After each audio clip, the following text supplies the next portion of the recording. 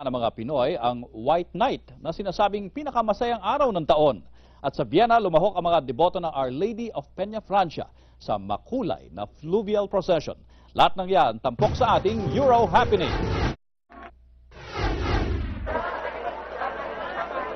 Lumahok ang mga Pinoy sa taunang fluvial procession ng Our Lady of Peña Francia dito sa Vienna na itinaguyod ng Bicol Society in Austria. Para sa mga deboto, hindi lang simpleng panata ang prosesyon, kundi bahagi na ng tradisyong Pinoy.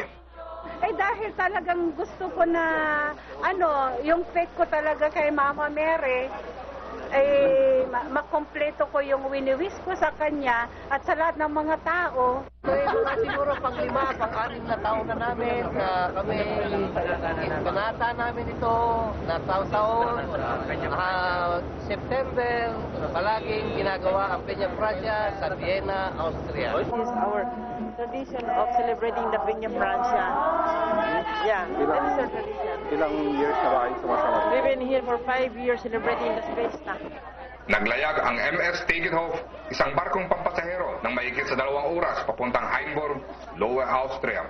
Nagprosesyon ang mga deboto papuntang simbahan ng Heimburg na pinagdausan ng misa na pinangunahan ni Monsignor Joel Bailon, obispo ng Masbate.